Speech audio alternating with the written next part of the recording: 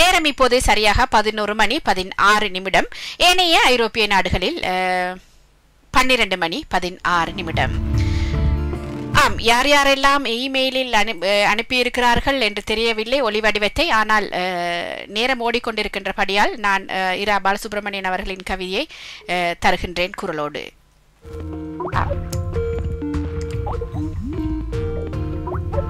ஆம் இதற்கிடையில் கோசல்யா சொர்ணலிங்கம் அவர்கள் அவரையும் இணைப்போம். வணக்கம். வணக்கம். வணக்கம் வாருங்கள். கனிவான மதிய வணக்கம். கனிவான மதிய வணக்கம். விஜயகௌரி உங்களுக்கும் என்னுடைய வணக்கம். வியாழன் கவி நேரத்தோடு லண்டன் தமிழ் வானொலி பாமுகத்தில் பா பகிர்வோடு பனிப்பொழிவோடு முரண்பிடித்து பாவொன்று கடல்வெளி புணர. அனைத்து உறவுகளுக்கும் வணக்கம். கோசல்யா கவி.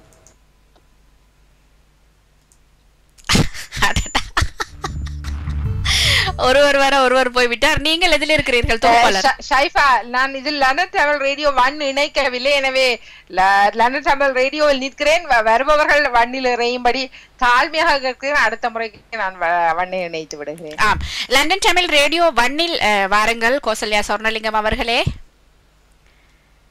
மணிப்போடு. லண்டன் தமிழ் ரேடியோ வன்னில் வாருங்கள். ஆம். லண்டன் தமிழ் வண்ணில் வன்னில் வருகிறவர்களை நான் இணைப்பேன். கோசல்யா சொர்ணலிங்கம் அவர்கள் அதனை தொட்டுக்கொள்ளுங்கள்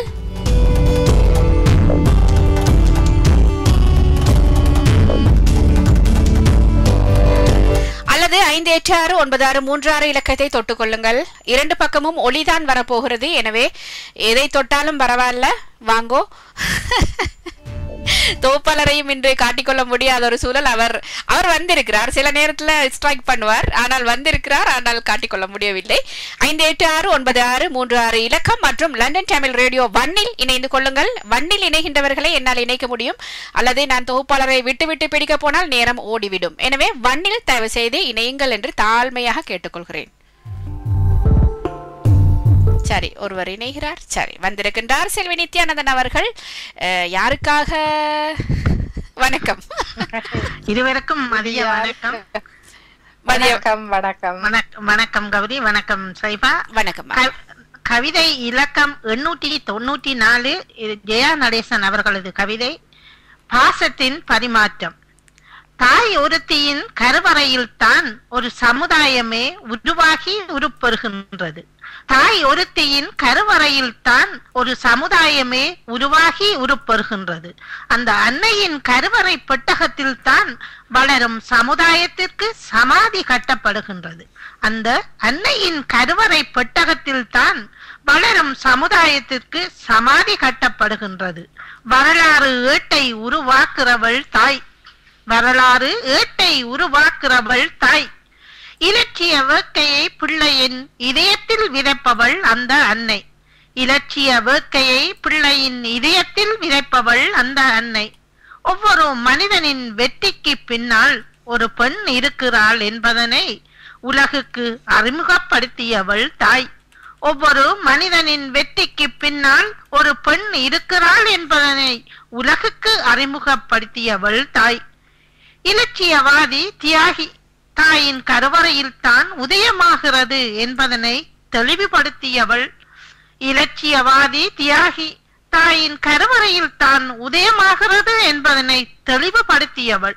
தாயின் இதயத்தில் இரத்தமும் வியர்வை கசிந்தாலும் அன்னையே சேயை மனந்தளராமல் வலி சுமக்கிறவள். தாயின் இதயத்தில் இரத்தமும் வியர்வை கசிந்தாலும் அன்னையே சேயை மனம் தளராமல் வலி சுமக்கிறவள் பிள்ளைகளின் தேவைகளை சுருக்கி கொண்டவள் தாய்.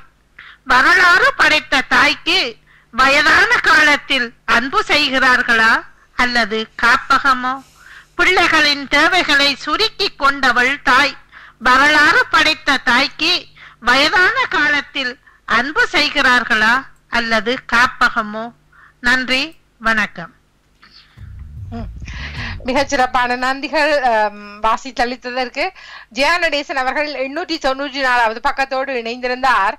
அஹ், இதில் பிள்ளைகளின் தேவைகளை சுருக்கி கொண்டவள் தாய் என்பதை விட பிள்ளைகளின் தேவைகளுக்காய் தன்னை சுருக்கி கொண்டவள் தாய். வரலாறு படைத்த தாய்க்கு வயதான காலத்தில் அன்பு செய்கிறார்களோ அல்லது காப்பகமோ? பெருங்கேள்வி பெரிய கேள்வி பெரிய கேள்வி. நமக்குள்ளான கேள்வி. நமக்குள்ளான கேள்வி. எமக்கும். வரப்போகின்ற கேள்வி. நாம் செய்கின்ற கேள்வி. நாம் செய்கின்ற வேள்வி. நாம் செய்து கொண்டிருக்கின்ற பக்கம். எதை செய்கிறோம்? எப்படி நமக்காய் கிடைக்க போறோம்? நிச்சயமாகவே காத்திரமான கேள்வி. தாய் ஒருத்தியின் கருவறையில் தான் ஒரு சமுதாயமே உருவாகி உருப்பெறுகின்றது நிச்சயமாக. அந்த அன்னையின் கருவறை பெட்டகத்தில் தான் வளரும் சமுதாயத்துக்கு சமாதி கட்டப்படுகின்றது. அந்த அந்த பக்கம் எனக்கு சற்றே சற்றே ஒருவேளை அவள் சரியாக அமையாவிட்டால் அந்த வ- சமுதாயத்திற்கான சமாதி கட்டப்படுகின்றது என்ற பக்கமாக அது- அதையும் நான் ஏற்றுக்கொள்கிறேன். ஒரு தாய் என்று வந்தபோது அவளால் தான் நிச்சயமாகவே ஒரு கருவை செழிப்பானதாகவோ அல்லது சிதைக்கப்பட்டதாகவோ அல்லது குறுகிய வளர முடியாதாகவோ ஆக்குகின்றவள் நிச்சயமாக அந்த தாய் தான்.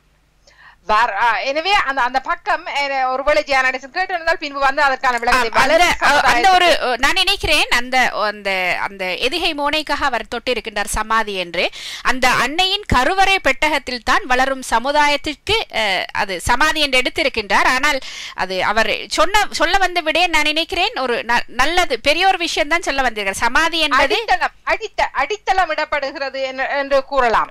ஆனால் சமாதி கட்டப்படுகின்றது என்பது எப்படி வரும் என்று அவர் எப்படி எடுக்கிறார்? ஒருவேளை இதுவும் நடக்கிறது அல்லது அவள் சரியாக அமையாவிட்டால் இப்படி இப்படியும் நடக்கிறது. தாயின் வளர்ப்பில் தான் அந்த அணைப்பில் தான் ஒரு ஒரு சமுதாயம் உருவாகிறது என்பதை நாங்கள் இரண்டு விதமாக எடுக்கலாம். சமாதியாகவும் இருக்கலாம் அது வேறொரு விதமா வெற்றியாகவும் இருக்கலாம். உயர்ந்த ஒரு இங்கு- ஆனால் இங்கு பாசத்தின் பரிமாற்றம் அந்த தாயை நல்ல உன்னதமாக கூற வந்தவர் இப்படி இந்த வரியை கொண்டு வருவார் என்று நான் நினைக்கவில்லை. ஆனாலும் பார்ப்போம். அவர் எப்படி வருகிறார் என்று வரலாற்று வேட்டை உருவாக்குகின்றவள் தாய் இலட்சிய வேட்கையை பிள்ளையின் இதயத்தில் விதைப்பவள் அந்த அன்னை.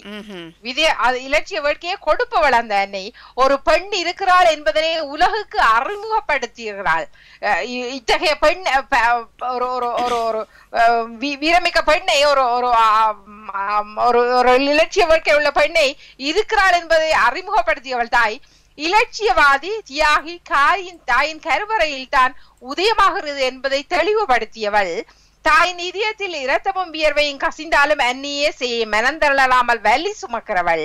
அஹ், பிள்ளைகளின் தேவைகள் தேவைகளுக்காக தன்னை சுருக்கி கொண்டவள். வரலாறு படைத்த தாய்க்கு வயதான காலத்தில் என்னும்போது அங்கு சமாதி என்பது நிச்சயமாக வருவதற்கான பக்கம் இல்லை. இல்லை இல்லையா வளரும் சமுதாயத்தின் அடித்தளம் இவள். அடித்தளமாய் இருக்கிறாள் என்று வரலாம். அல்லது அடிப்படை என்பதாலும் அவள் அந்த அந்த அது- அந்த கல்லை இடுகிறாள். அந்த அடித்தளத்தை இடுகிறாள் அவள்.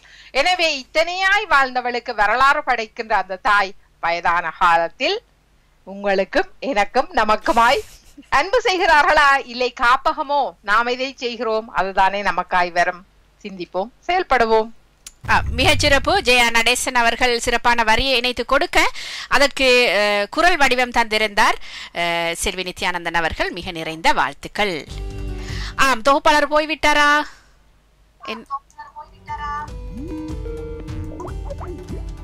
ஆம் இப்போது இருவரும் இருக்கிறார். அடடா, அடடா. யாரது யாரது என்னை கிளைப்பது? யாரது யாரது? சற்று நேரத்தில் நானாகவே ஓட வேண்டி ஆம், கோசல்யா சொர்ணலிங்கம் அவர்கள் லண்டன் தமிழ் ரேடியோ வன்னில் தயவு செய்து வாருங்கள் தாயே. அப்படித்தான் இப்ப கேட்க வேண்டும். லண்டன் தமிழ் ரேடியோ வன்னில் வாருங்கள் கோசல்யா சொர்ணலிங்கம் அவர்களே. அல்லது அதற்கு- அதற்கிடையில் இரா பாலசுப்ரமணியம் அவருடைய கவிதையை தாருங்கள் ஷைஃபா. ஆ, நான் அதனை வாசித்து விடுகிறேன்.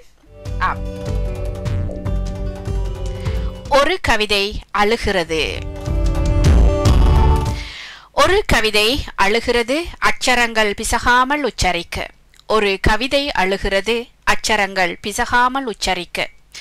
அணிவகுத்த வார்த்தைகளின் அழகுரைக்க. கோர்த்தெடுத்த வார்த்தைகளால் போர்த்து வைத்த பொருளதனை சேர்த்தபடி எடுத்துரைக்க. ஒரு கவிதை அழுகிறது அச்சரங்கள் விசகாமல் உச்சரிக்க. அணிவகுத்த அணிவகுத்த வார்த்தைகளின் அழகுரைக்க. கோர்த்தெடுத்த வார்த்தைகளால் போர்த்து வைத்த பொருளதனை சேர்த்துபடி சேர்த்தபடி எடுத்துரைக்க. வரிகள்தான் கருவறிந்து உணர்வோடு உள்நுழைந்து உட்பொருளை நன்குணர்ந்து நிற்குமிடம் நிமிருமிடம் நிமிர்ந்தபடி பாயுமிடம்.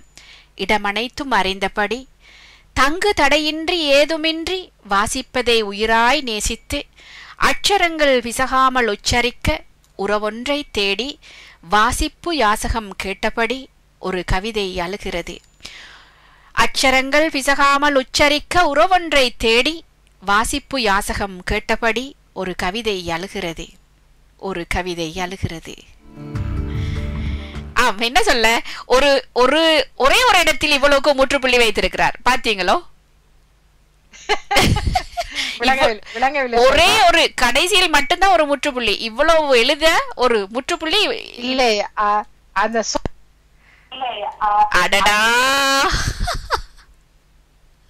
என்ன சொல்ல என்ன சொல்ல? தொகுப்பாளர் போய்விட்டார். கோசல்ல சொன்னலிங்கம் அவ- அவர்கள்.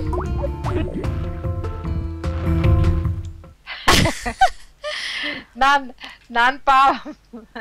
நானும் சொல்ல வந்ததை சொல்ல வந்ததை தொடராக சொன்னபடி வந்திருக்கிறார் இரா பாலசுப்ரமணியம். வாசகியே என் சகியே யாசகமாய் வாசகத்தை ஜகத்தில் வாசித்து நீ அழிக்க. அழிக்க அழி- அழிக்க மவ்வளவழிய அழிக்க. வாராயோ வந்து தாராயோ என்று அழைத்தார் இரா பாலசுப்ரமணியம் அவர்கள். ஒரு கவிதை அழுகிறது என்கிறார். நிச்சயமாகவே இது உண்மை. இது உண்மை. எப்படி என்றால் அழகான வரிகள் அற்புதமான பக்கம் சரியாக வாசித்தளிக்கப்படாமல் சரியாக பொருள் உணர்ந்த ஒருவேளை நம்மால் கூட பொருள் உணர்ந்து பேசப்படாவிட்டால் அந்த அந்த வாசகம் அழும், அந்த. எழுதியவன் விரல்கள் அழும் அதை அது சிந்தித்து சிந்தித்து படைத்தவன் மனம் புண்படும். எனவே அந்த பக்கத்தை அழகாய் தந்திருந்தார். ஒரு கவிதையை அழுகிறது. அட்சரங்கள் பிசகாமல் உச்சரிக்க. இல்ல இப்பொழுது இன்னொரு வேலை நடக்க போகிறது. இப்போ அச்சரங்கள் பிசகாமல் நான் உச்சரிக்காவிட்டால் இரா பாலசுப்ரமணியன் அவர்கள் அழப்போகிறார். அணிவகுத்த வார்த்தைகளின் அள்ளமுறைக்க கோர்த்தெடுத்த வார்த்தைகளால் போர்த்து வைத்த பொருள் அதனை சேர்த்தபடி எடுத்துரைக்க. வரிகள் தான் கருவறிந்து உணர்வோடு உள் நுழைந்து உட்பொருளை நன்கு உணர்ந்து நிற்குமிடம் நிமிருமிடம் நிமிர்ந்தபடி பாயுமிடம். இடமனைத்தும் அறிந்தபடி. அத்தனையும் பொருளை பார்த்து அதனோடு சேர்ந்து இணைந்து நகர்ந்தபடி இடமனைத்தும் அறைந்தபடி தங்கு தடை ஏதுமின்றி வாசிப்பதை உயிராய் நேசித்து. அட்சரங்கள் மீண்டுமாய் அட்சரங்கள் பிசகாமல் உச்சரிக்க உறவொன்றை தேடி வாசிப்பு யாசகம் கேட்டபடி ஒரு கவிதை அழுகிறது. பக்கம் அழகான பக்கம். ஒரு கவிதை எப்படி புண்பட்டு போகும் என்பதை இந்த மக்கா சொல்லியிருந்தார். முயற்சிப்போம் சைஃபா நானும் நீங்களும். பாலசுப்ரமணியம் சிறப்பான வாழ்த்து. மிகச்சிறப்பு. அவர் தமிழோடு தில்லானா நடத்தும் போது அவரது குரல் எனக்கு காதுக்குள்ள கேட்டுக்கொண்டு இருக்கிறது நிமிர்க்கும் நிற்கும் இடம் நிமிரும் இடம் எல்லாம் சொல்லுவாரு.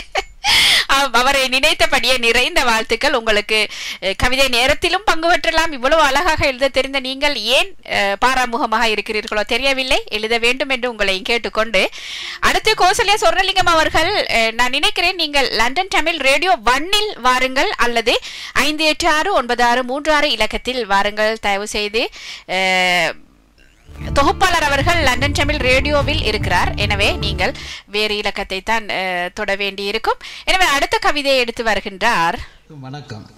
இது ஃபர்ஸ்ட் ஆடியோ காற்றலையின் லண்டன் தமிழ் வானொலி பாம்புகம் ஃபா டிவியின் வியாழன் பொழுது கவிதை பரப்பினுக்காக. வாழ்க்கை சுகமானது என்னும் தலைப்பினுடைய கவிதை இலக்கம் முன்னூற்றி தொண்ணூறு. வாழ்க்கையொரு போராட்டமா? போராட்டமா வடியுங்கண்ணீர் நீரோட்டமா? வாழ்க்கையொரு போராட்டமா? வடியும் கண்ணீர் நீரோட்டமா? வாழ்க்கையொரு போராட்டமா? நினைவில் நெஞ்சம் தடுமாறுதே நெஞ்சம் தடுமாறுதே நிறைந்த குளம் வெறுமை காணுதே நிறைந்த நெஞ்சம் தடுமாறுதே நிறைந்த குளம் வெறுமை காணுதே. வாழ்க்கையொரு போராட்டமா வாழ்க்கை என்பது சுமைகளா?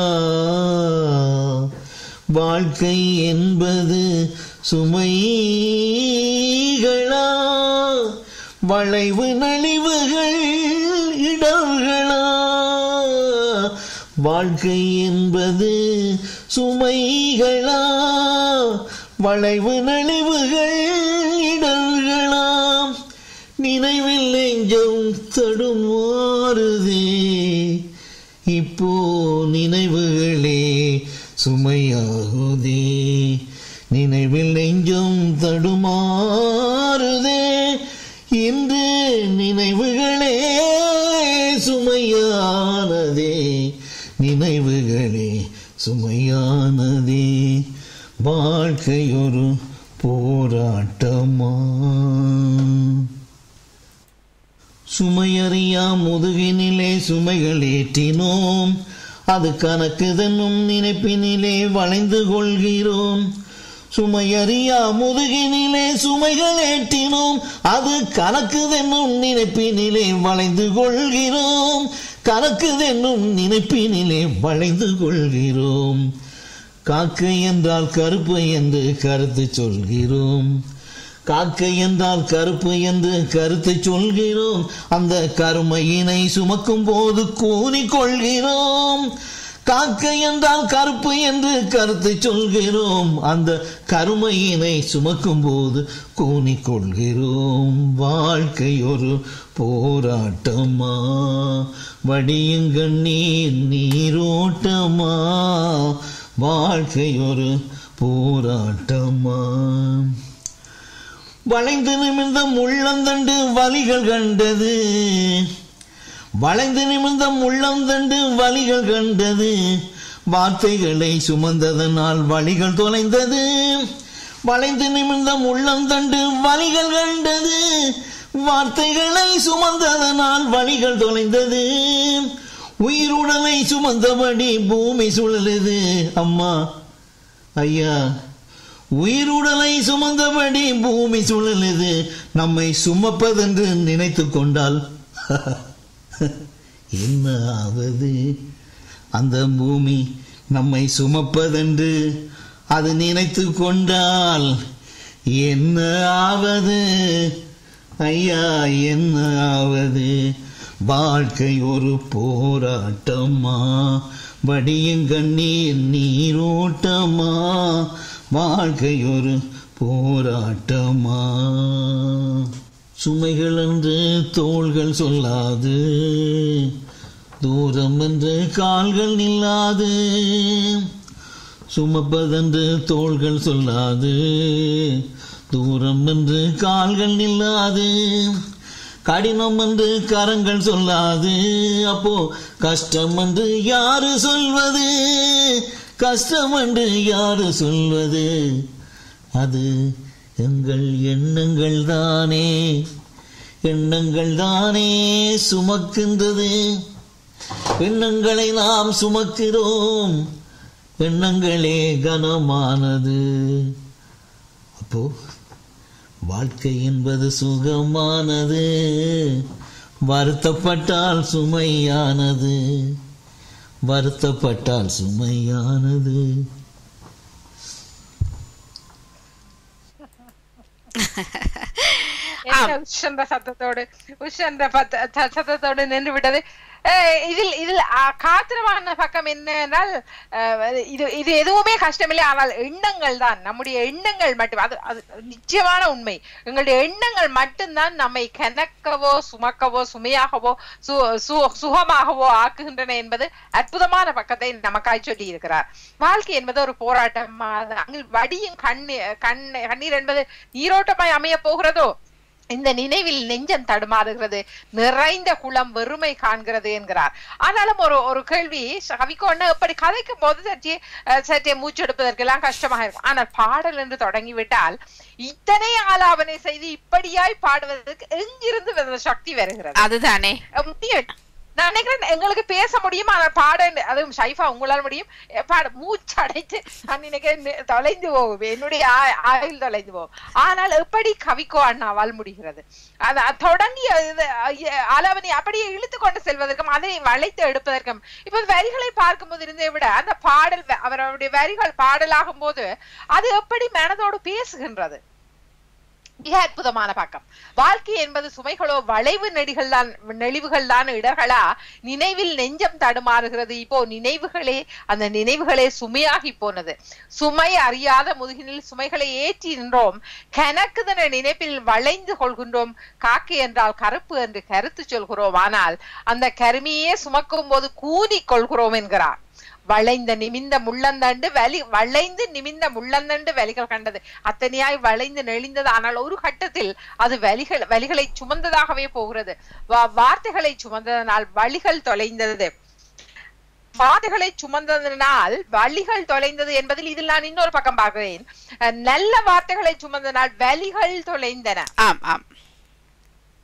என்று உயிர் உடலை சுமந்தபடி பூமி சுழலுது. நம்மை சுமப்பதாக நினைத்து கொண்டால் என்ன? மிகச் சிறப்பான வேரி. உயிருடலை சுமந்தபடி பூமி சுழல்கிறது அது ஒரு வேளை நாம் இத்தனை இத்தனை சந்தர்ப்பங்கள். நான் சின்ன சின்ன உதவிகளை மற்றவர்களை செய்துவிட்டு நம்ம இத்தனை இருமாப்பு கொள்வோம் அல்லது அவர்கள் நம்மை மதிக்காவிட்டால் இத்தனை கதை சொல்வோம். அடடா நான் இத்தனையா செய்த போது இவர்கள் இப்படி பார்க்கிறார்கள் என்று. ஆனால் இந்த பூமி நம்மை சுழற்றி போனால் நாம என்ன செய்வோம்? சுமைகள் என்று தோள்கள் சொல்லாது தூரம் என்று கால்கள் நில்லாது கடினம் என்று கால்கள் சொல்லாது அப்போது கஷ்டம் என்று யார் சொல்வது? இவையெல்லாம் சொல்லாத போது எண்ணங்கள் தான் கனத்து நிற்கிறது என்று இதில் ஒரு வரியை சுமைகளா இடர்களா? வாழ்க்கை என்பது சுமைகளா? வளைவு நெளிவு இடர்களா என்றார். நான் வாழ்க்கை என்பது சுமை கல்லோ வளைவு நெளிவுகள் தான் இடர் கல் கல்லோ என்று பக்கமாக நான் பார்த்தேன். அழகாக இருந்தது மிக அழகாக இருந்தது. சொல்லுங்க ஷைவா. ஆம் ஆம். நான் முடிக்க பார்த்தேன் நீங்க சொல்லுங்க. இதில் இருவேறு பக்கங்கள் எப்படி வாழ் சும சுகமும் எப்படி சுமையும் சுக சுகமாகும்? அதே வழியில் எதனால் வாழ்க்கையே சுகம் சுமையாகி போகிறது என்பதை அழகாய் சொல்லியிருந்தார். வெறும் எண்ணங்கள் தான். நம்முடைய எண்ணங்கள் சரியாக திடமாக அமைந்திருந்தால் எல்லாமே சுகம்தான். எல்லாமே கடந்து செல்லப்பட பட வேண்டியவைதான். உண்மைதான். அதுதான் உண்மை. எந்த கட்டத்தில் நாம் இருக்கிறோம் ஒரு ஒரு சரியான சுமையை சுமந்து செல்வன் கூட இலகுவாக செல்வதாக உணர்த்தி கொள்வான். அவன் அதை சுகமாக ஏற்கும் போது இது நடந்தே ஆக வேண்டும் என்று போது அது சுகமானதாய் ஆகிவிடும்.